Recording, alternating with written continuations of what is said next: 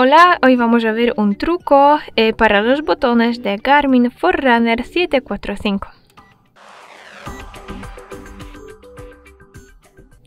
Vamos a entrar en menú, pulsamos App, entramos en Sistema, bajamos y entramos en Teclas de acceso rápido.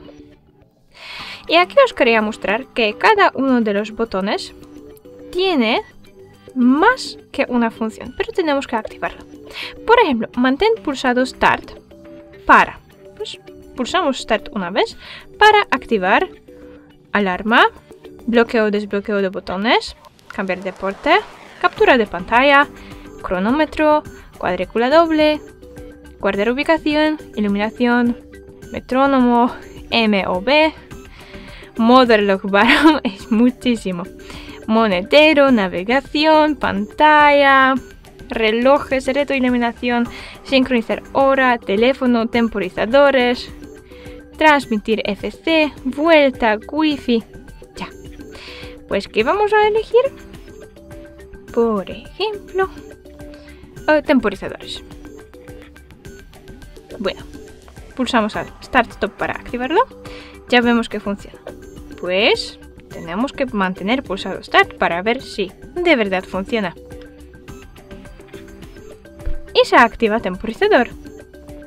Bien, volvemos.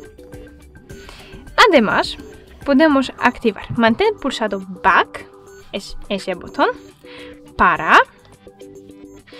Y me parece que tenemos los mismos, eh, las mismas funciones. Bueno, pues podemos activar alarma. Vamos a ver. Sí, entramos en alarma. Volvemos y start más down. Bueno, start más down. Para.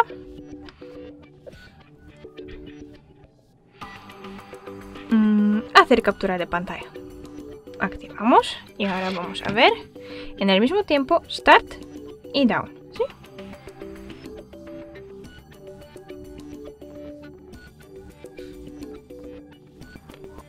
Muy bien. Además podemos activar Start más Up, es S más S. Back más Light, Back, Light. Back más Up, eh, Back y Up. Pero bueno, no tenemos tanto tiempo para ver cada uno porque ya sabéis qué funciones podemos añadir y de qué manera. Si queremos desactivar esas funciones de teclados, Entramos y elegimos ninguno. Mm. Ay, perdona.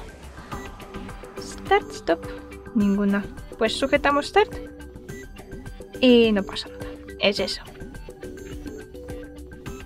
Muchísimas gracias por ver este tutorial.